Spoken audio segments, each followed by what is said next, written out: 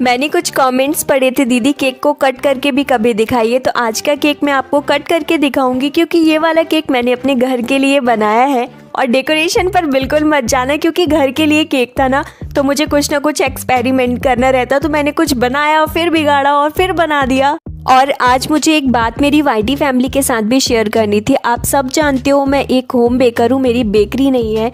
और ठंडी में तो मेरे पास अच्छे खासे केक के ऑर्डर्स हो जाते थे, मेरे लोकल एरिया से ही।